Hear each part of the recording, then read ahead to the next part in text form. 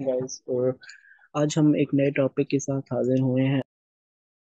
नाम है group to अच्छा जी तो अब ग्रुप टू क्या चीज़ है? ग्रुप टू बेसिकली ये इनऑर्गेनिक का चैप्टर है।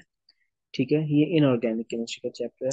बट मैं इसको एनर्जेटिक्स के साथ ही करा देता तो मैं इसको एनर्जेटिक्स के साथ ही करा देता होता हूँ। तो इसीलिए मैं अभी भी जो है वो आज भी आपके साथ ग्रुप टू जो है वो आज ही हम डिस्कस कर रहे होंगे।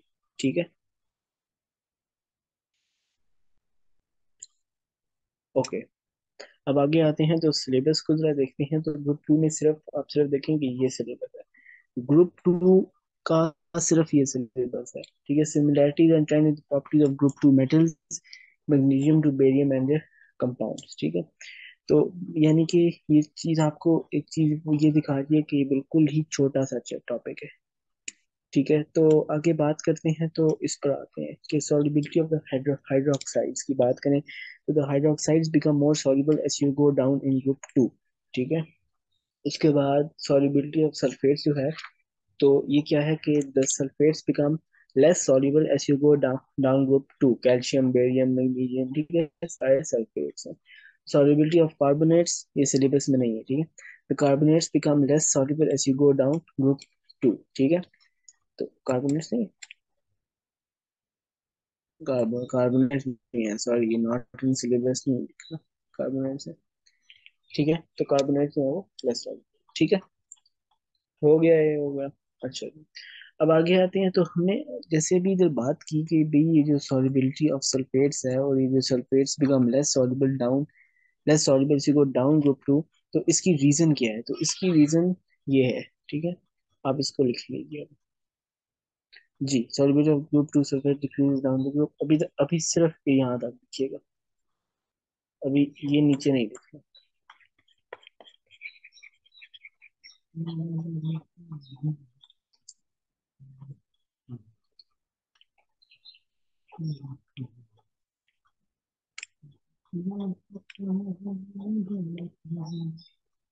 लिखिए लिखिए ना मैं वेट कर रहा हूँ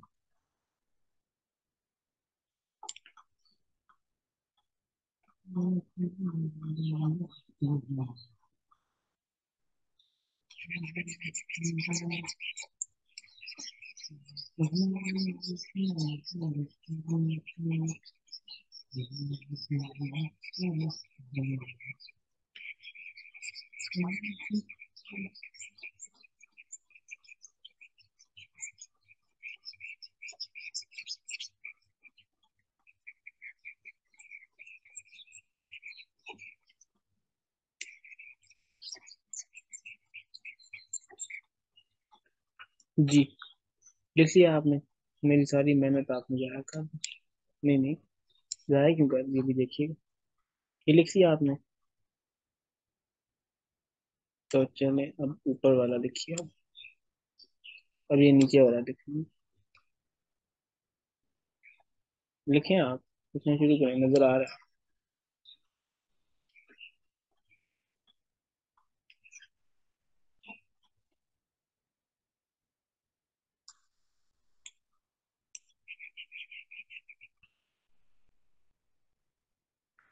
जी जी, लिखिए इसको प्लीज़ हरी हरी हरी आप हरी आप इसमें ज़्यादातर आपको कुछ समझाने की बात तो है नहीं। आपको ऑलरेडी आता है, नहीं तो बात नहीं। अच्छा अब इधर जैसे कि आप देख रहे हैं तो आपने ये देख लिया कि solubility of group two sulphate decreases down the group because delta H hydration becomes less exothermic due to increase in ionic radius magnitude of the lattice energy decreases down the group due to increase in distance between the ions lattice enthalpy change lattice enthalpy decreases slower than delta H hydration due to larger size of the sulfate ion and delta H solution becomes lesser exothermic or more endothermic ठीक है उसी तरह आपने देखा कि solubility of group 2 hydroxides increases down the group why क्योंकि delta H hydration becomes lesser increase in ionic radius of the metal ion down the group magnitude of the lattice energy decreases down the group due to increase in distance between the ions size of cation increases the lattice enthalpy decreases much faster than delta H hydration delta H solution becomes more exothermic or lesser endothermic ठीक है तो ये इसकी जो है वो सारी कहानी है अब हम अगली चीज़ की जो बात करते हैं वो है decomposition of nitrates and carbonates तो ये भी देख लीजिए अच्छा जी ये क्या कहता है ये कहता है कि the carbonate ion has a relatively large ionic radius so it is easily polarized by a small highly charged cation of group 2 polarizing power of cations decreases down the group due to increase in ionic radius high polarizing power weakens the carbon oxygen bond in the carbonate and form carbon dioxide and on heating ठीक है understood हो गया this is that is it for the this is it for group two elements, group two compounds. और इनशाला अगले lecture में आपसे मुलाकात होगी। तब तक अपना और अपने दोनों बाकी लोगों का बहुत सारा ख्याल रखिएगा। थैंक यू वेरी मच और अभी तक आपने हमारे चैनल को सब्सक्राइब नहीं किया तो प्लीज़ सब्सक्राइब